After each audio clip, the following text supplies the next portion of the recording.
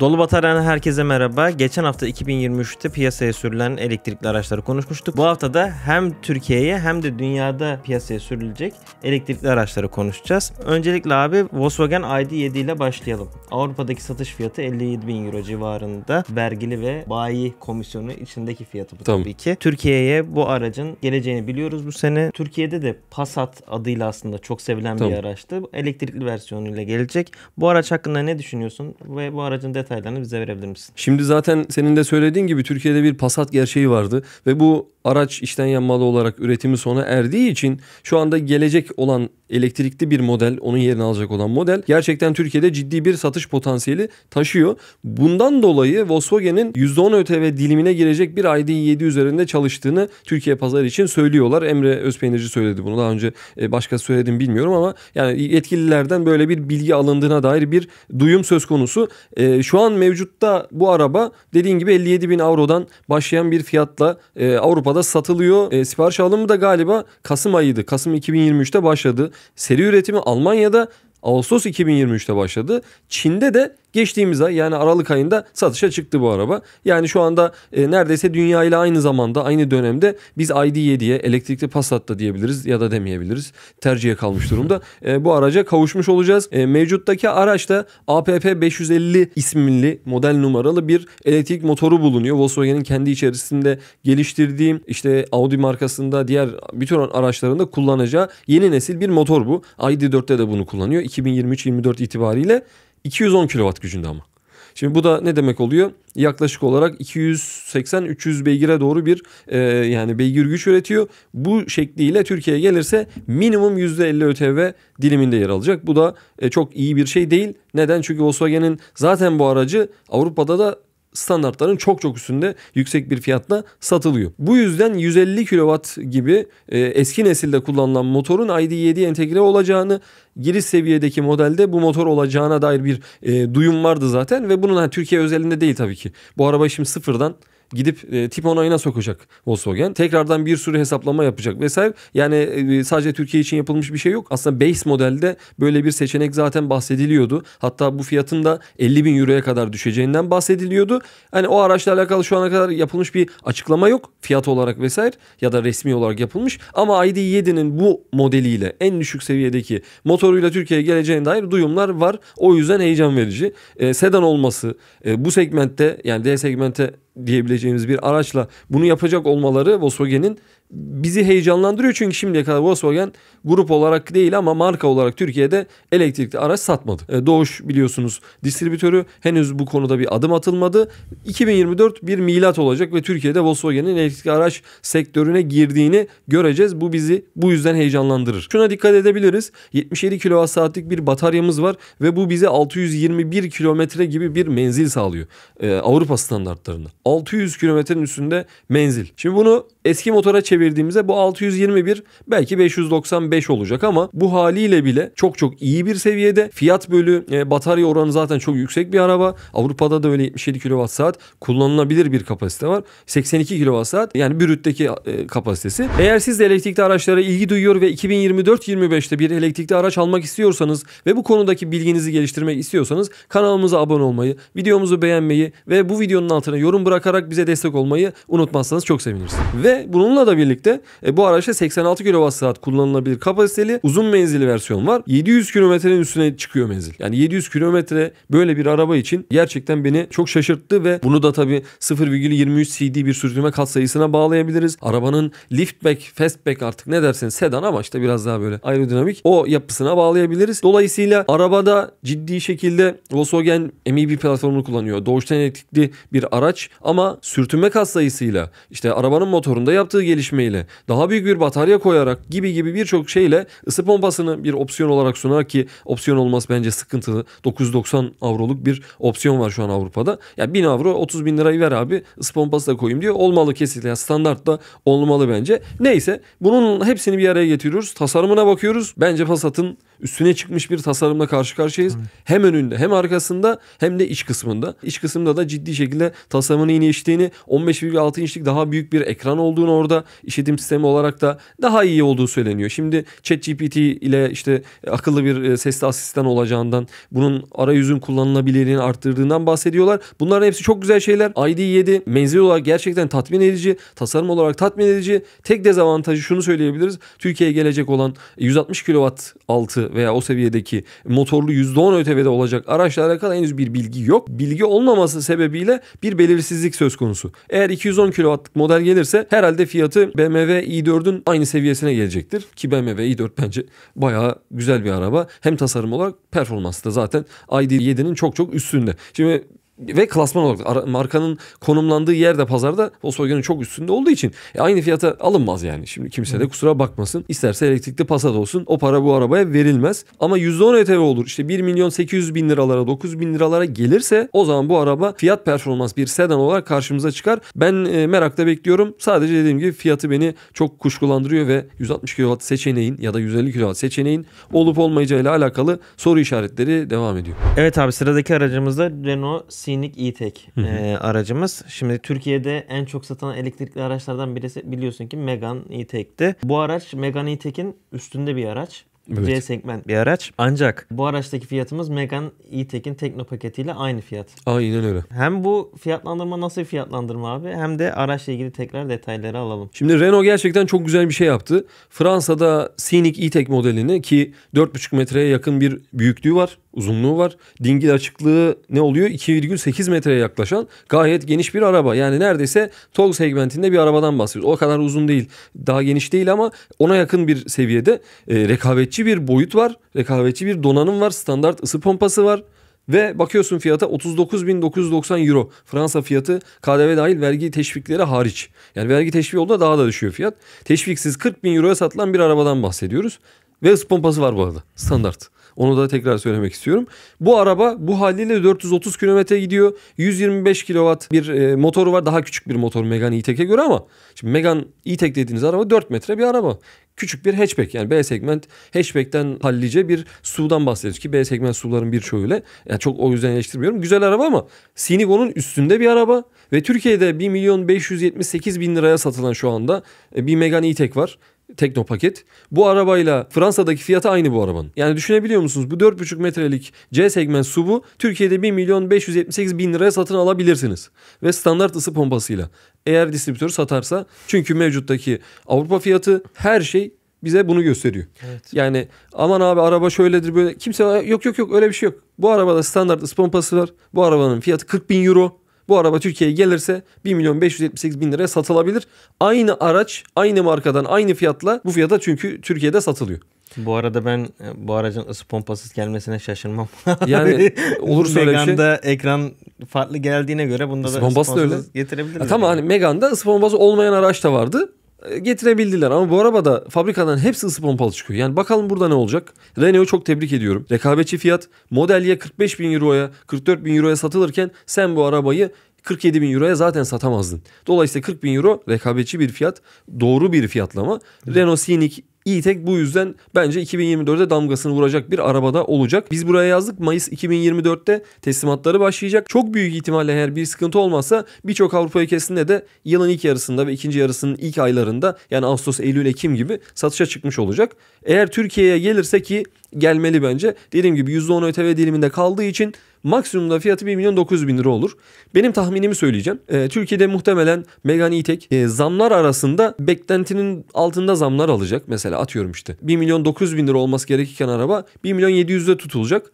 Üstüne 200 bin lira üstüne CN2 getirecekler bir yüz paketiyle.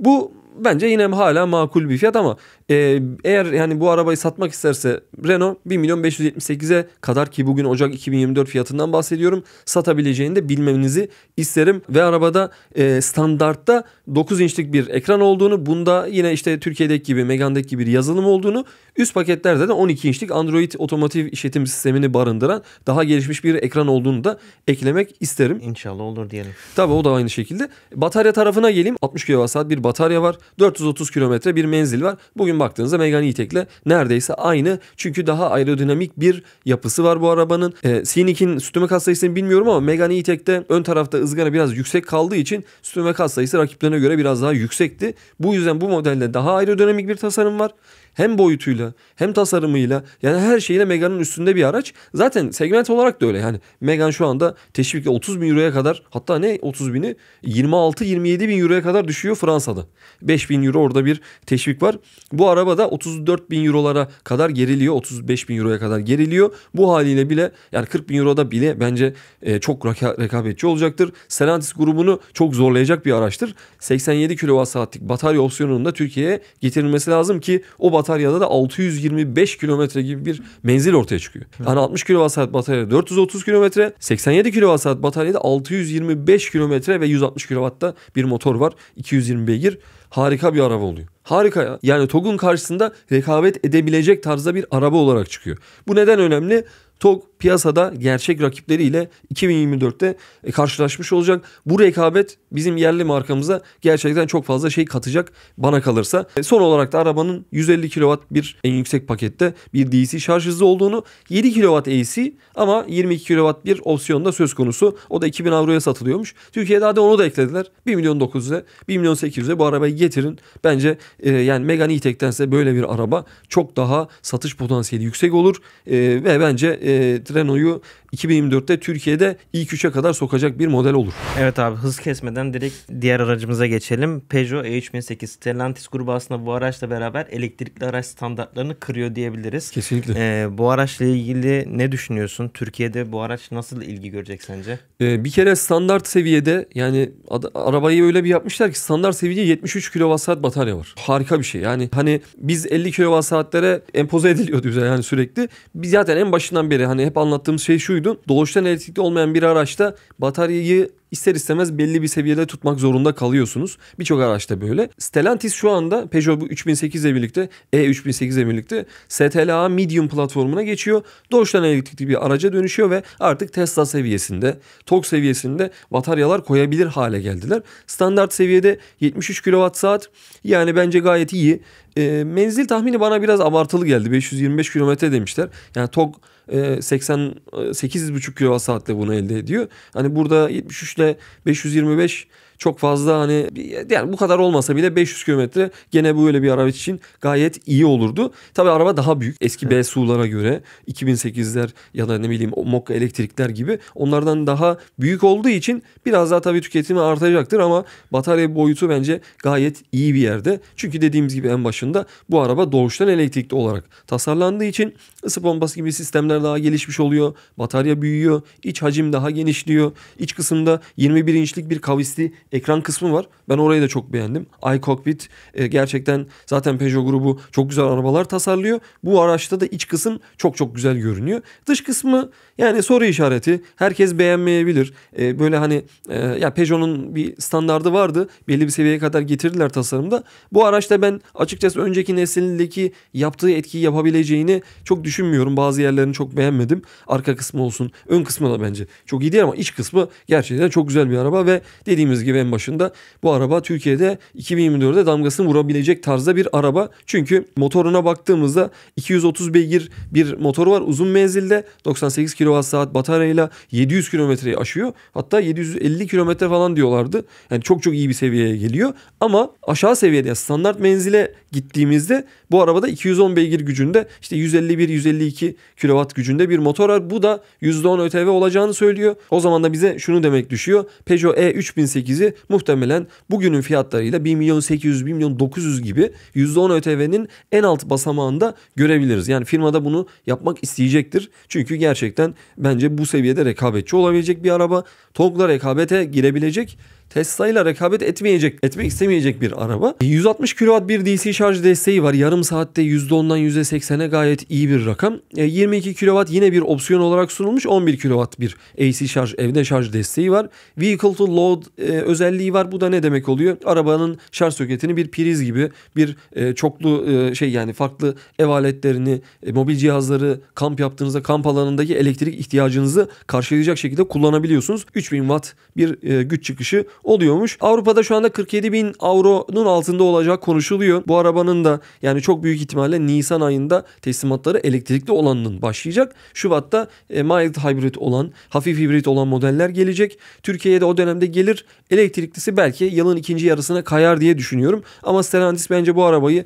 bir an önce ÖTV matrağı da hazır güncellenmiyorken, e, dolar da bu seviyelerde dururken getirmek isteyeceğini düşünüyorum. Benim gördüğüm kadarıyla Stellantis'e 2024'te satış hacmini ve müşteri portföyünü genişletecek tarzda bir araç olacaktır, bir opsiyon olacaktır. Türkiye'de satılmasına dört gözle bekliyoruz diyebilirim. Evet abi bir sonraki aracımız da Volvo'nun EX30 aracı. 20 servis mevzusu yüzünden bu aracın gelişi şu an için ertelendi diyebiliriz. 2024'te gelir mi bilemeyiz ama 2025'te herhalde geleceği kesin bir araç diyelim buna. Ama burada tabii değerlendirmek bize düşüyor abi. Evet yani burada 2025 mevzusunu niye söyledin onu açıklayayım.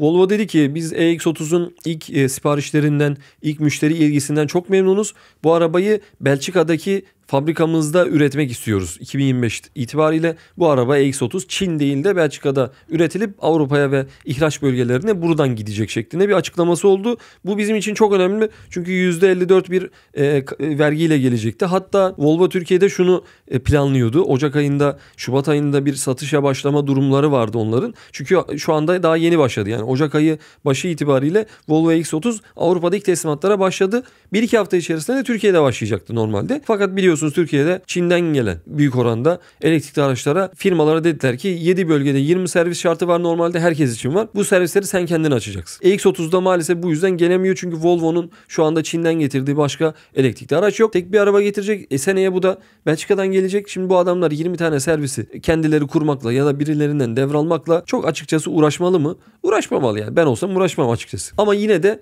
biz bu arabayı getirmek için çalışma yürütüyoruz. Şu anda gelemiyor ama ilerleyen dönemde gelecek şeklinde bir açıklama yaptılar. Tahminim 2025'in ilk yarısında bu araba üretime girerse hızlıca getirirler ama onun öncesinde bu arabanın gelmesi zor. Herhalde Volvo'nun da en hızlı arabası zaten. E, o yüzden ilgi de görecek bir arabaydı. E, şehir için çok güzel bir araba. Hani giriş seviyede 49 kWh bir batarya var.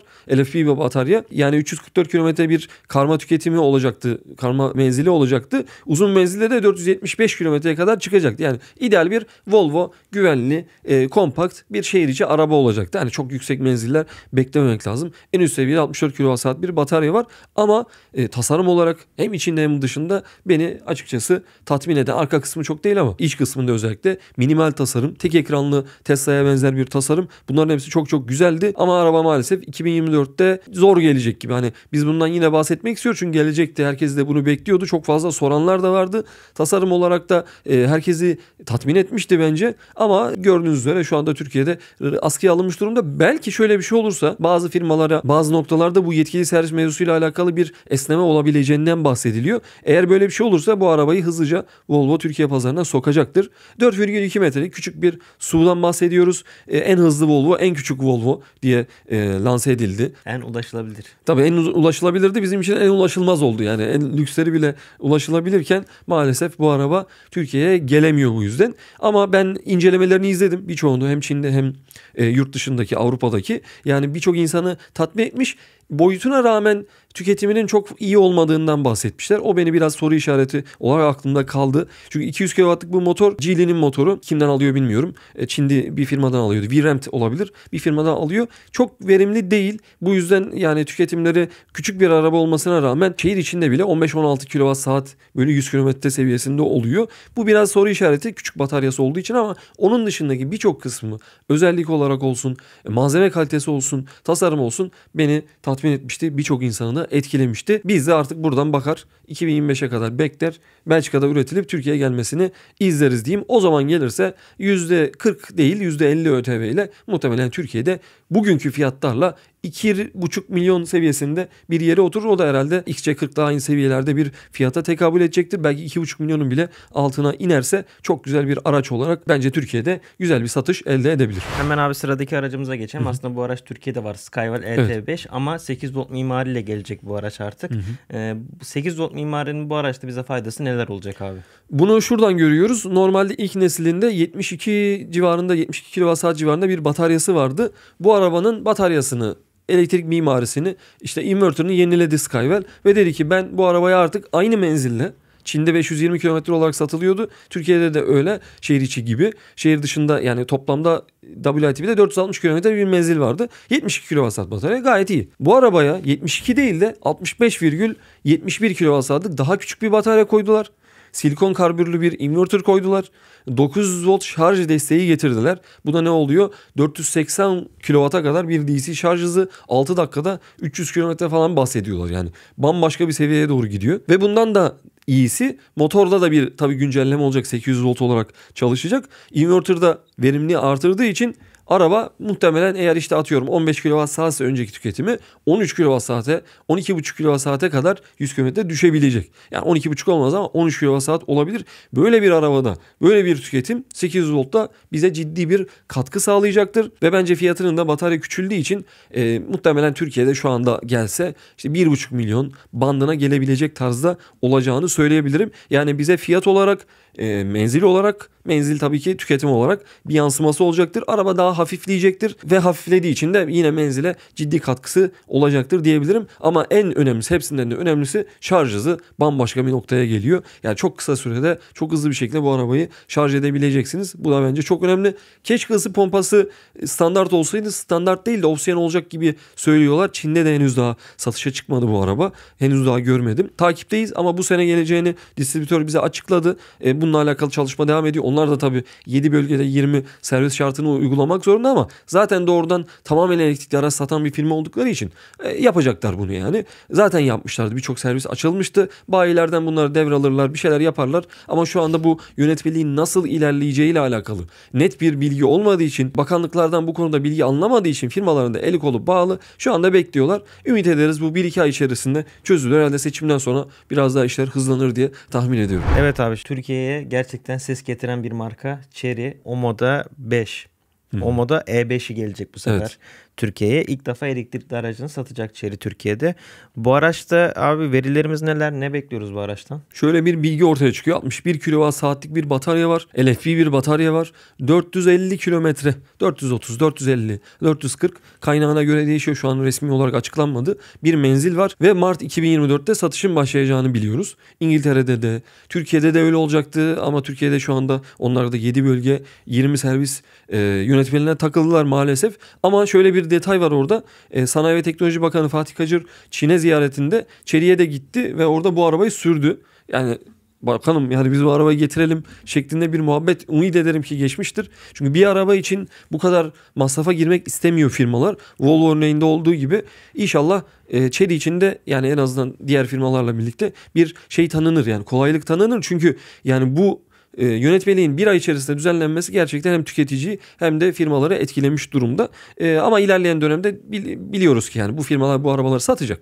Her şeye rağmen satacak. O yüzden bu yatırımlar yapılacaktır. Esnemeler de yapılırsa güzel olur. E, dediğim gibi yani araba muhtemelen %10 ÖTV dilimindeki işte e, Stellantis grubunun B SUV'ları işte hatchback'leri onların biraz üzerinde bir fiyatta 1 milyon 400 500 bandında satılacak bir araba. Yani Torres'le e, kapışacak bir tarzda olabilir. Çünkü bu arabanın yani Çin'deki e, benzinli versiyon çok uyguna satılıyor. Elektriklisi de o fiyatın %15-20 üstünde satılacak diyorlar. Orada da fiyat henüz belli değil. Eğer öyle bir fiyat olursa Türkiye'de 1,5 milyon liranın altına hatta hadi bugün fiyatıyla öyle olsun ilerleyen aylarda 1,5 milyon liraya satılabilir diye düşünüyorum. Tek pedal bir kullanım var. Bu çok önemli. Böyle bir arabada 150 kW bir motor var. Skywell'deki gibi 61 kWh batarya olduğunu söyledik. LFP olduğunu söyledik. 12,3 inçlik bir e, bilgi eğlence ekranı var. Yani ön tasarım beni gerçekten çok etkiledi. Zaten arkası güzel bir arabaydı. Ben ön tarafın içten yanmalı da çok beğenemiyordum. Ama bu araçta çok daha sade ve daha güzel bir görünüm var. Bir soru işareti var. 80 kW bir DC şarj hızı var. Acaba diyorum bu bataryayı BYD'den mi aldılar? Çünkü onlarda da benzer bir bataryayla benzer bir DC şarj hızı ortaya çıkıyordu. Ama dediğim gibi Türkiye'ye gelmesi Mart ayını bulmaz ama yani Mart ayı olmaz ama e, Mayıs olur, Nisan olur, ne bileyim Temmuz olur. Önümüzdeki birkaç ay içerisinde bu arabayı Türkiye'de pazarlanır halde göreceğiz. Ve Cherry tamamen elektrikli araç sektörüne Türkiye'de de girmiş olacaktır diye ümit ediyorum. Evet abi sıradaki aracımız daha doğrusu araçlarımız iki aracı aynı anda konuşacağız. Ford Explorer EV e ve e, Volkswagen ID4. Abi hemen ben burada bir tasarım eleştirisi yapacağım. Ford'un bu aracı gerçekten bana kalırsa güzel bir araç. Tabii. İkisi birbirine bu arada e, çok denk arabalar olduğu için beraber konuşuyoruz. Hı hı. Ama ID4 abi Volkswagen'in artık bu far tasarımından ben bıktım biraz ya. Evet. Yani yıllardır aynı aracı sanki görüyor gibiyim ben. Yani çok haklısın. Hatta işte bu ara iki araba biliyorsun MEB platformunda birlikte geliştiriliyor. Hani Volkswagen'in kendi platformunda Ford daha güzel bir araba tasarlamış.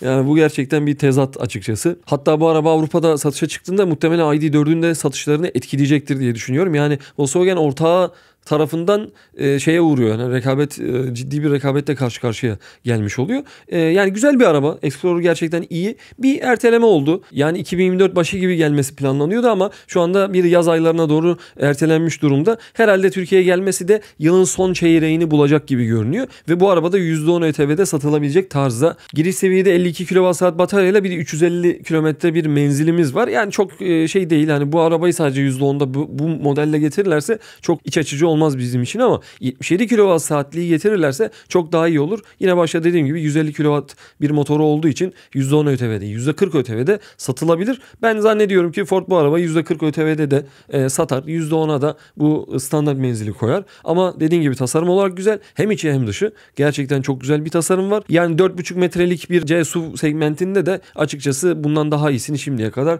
görmedim diyebilirim. ID4'e de dönecek olursak ID4'te biliyorsunuz bu sene Volkswagen e, Doğuş Otomotiv artık elektrikli araç dönemini başlatıyor Türkiye'de. ID7 ile birlikte ID4'te gelecek. Hemen hemen aynı özellikler. Ama o araçta tabii ki dediğim gibi e, senin de en başta söylediğin gibi tasarım biraz daha aşağıda kalıyor. Ümit ederiz ki bu kardeş model daha önce gelir. Ford Otosan tarafından ya da artık kim getiriyorsa. Onlar daha hızlı getirirler ve bu arabayı bence Türkiye'de ciddi bir potansiyelle de satarlar. Çünkü Ford tarafında binek araç tarafında bir elektrikli yok yani.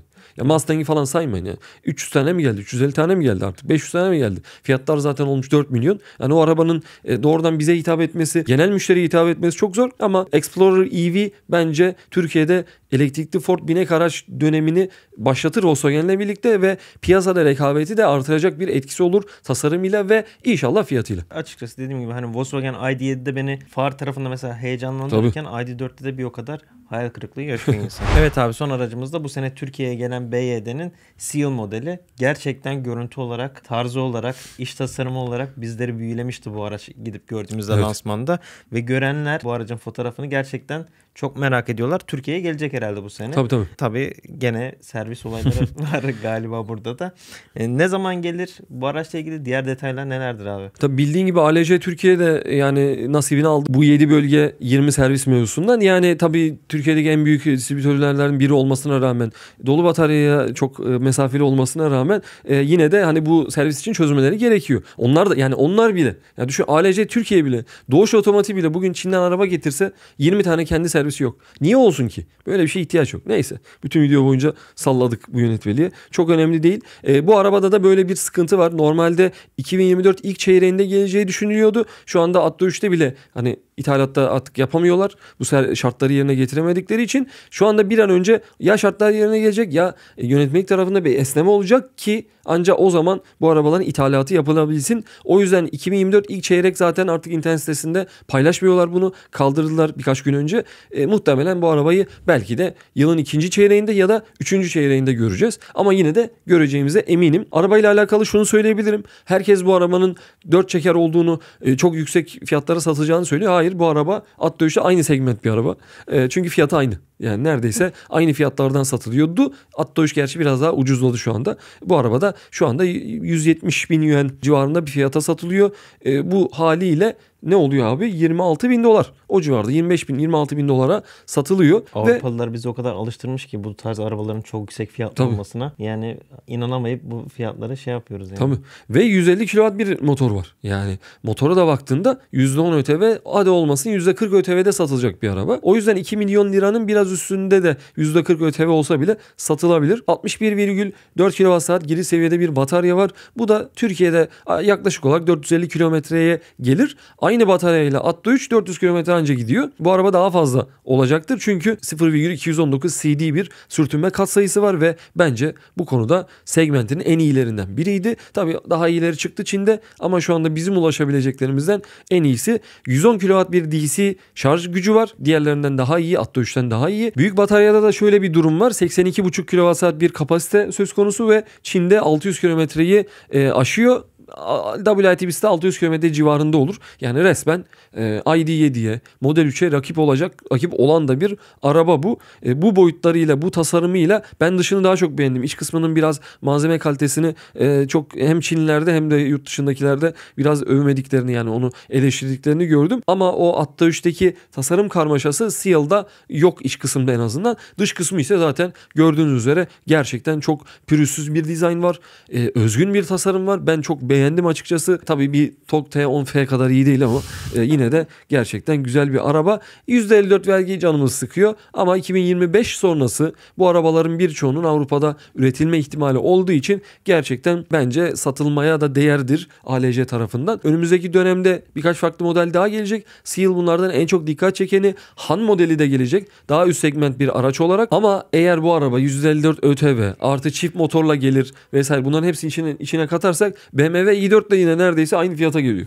Yani bu durumda HLC bu arabayı ya bir BMW i4'e bakın bir, de bu arabaya bakın yani. Hani bu araba Çin'de orta segment bir araba. Evet. i4 dediğin araba BMW'nin orta segmenti. Yani Evet. e, o yüzden hani kimse kusura bakmasın. BMW varken Mercedes varken ki şu anda CLA'nın elektriklisi gelecek. O da i4'ün biraz daha aşağısında kalır. E, o fiyatlara satılacak. Dolayısıyla bu arabaların %54 ile çift motorla o fiyatlara araba satması bu markaların zor yani. BYD de olsa biz sevsek de o kadar. Bence bu arabanın çift motorla değil arkadan itişli versiyonuyla şansı daha yüksektir. %40 ÖTV bile olsa çünkü gerçekten dediğimiz gibi tasarımıyla, performansıyla, verimliliğiyle bu araba bambaşka bir seviyede. Ve son olarak şeyi de söyleyeyim. Bu arabanın yine inverter tarafında silikon karbür kullanımıyla BYD'nin çok daha verimli çalıştığını da bilmek lazım. İç kısımdaki bilgi eğlence sisteminin de yine birçok rakibinden daha iyi bir noktada olduğunu bilmek gerekiyor. Evet inşallah kısa zamanda Çinli firmalar Avrupa'da fabrikalar açar da diyelim abi. Tabii. Yani bu vergi felaketinden kurtarırlar bizi. Kesinlikle.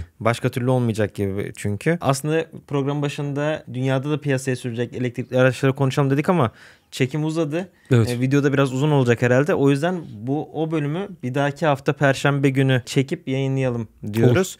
E, sizlerin de müsaadesiyle tabii Tamam. ki. Bu haftalık bizden bu kadar. Haftaya tekrar görüşmek üzere. Hoşçakalın.